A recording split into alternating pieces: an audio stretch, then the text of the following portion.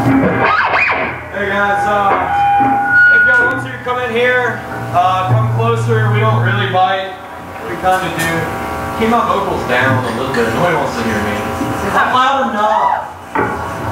Uh, we're Coffin Breath. This song is called Culture Destroyer. It's dedicated to our state's wonderful government.